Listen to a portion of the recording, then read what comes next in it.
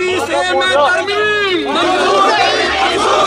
بزرگوں دوستوں جو اعلان میں نے جامع مسجد میں کیا پروگرام ہے، پروگرام بالکل واضح ہے کہ انشاءاللہ پانچ اور چھ اگست کو جموں کشمیر میں ایک مثالی ہڑتال ہوگی۔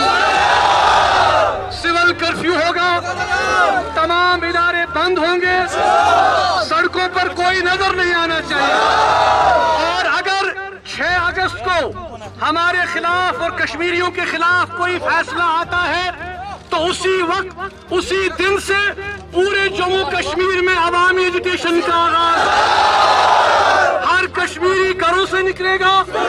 ہر کشمیری اپنا کاروبار، اپنی جان، ہر کچھ داؤ پہ لگائے گا۔ لیکن جموں کشمیر کی متنازع حیثیت کو پارلیمنٹ کے ذریعے یا سپریم کورٹ کے ذریعے تبدیل کرنے کی کسی بھی کوشش کو کامیاب نہیں ہونے دیا۔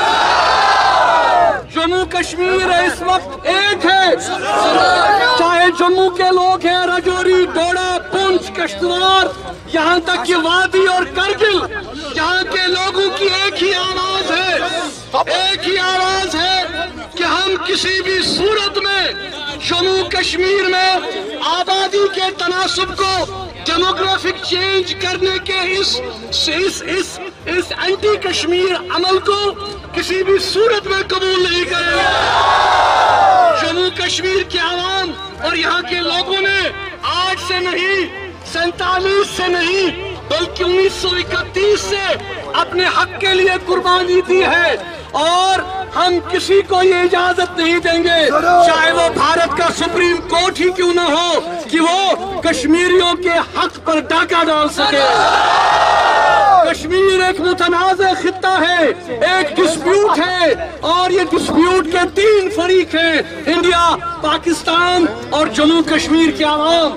کوئی بھی عدالت، چاہے وہ انڈیا کی عدالت ہو، پاکستان کی عدالت ہو، کشمیر کی عدالت ہو، جموں کشمیر کے ڈسپیوٹڈ نیچر کو تبدیل نہیں کر سکتی۔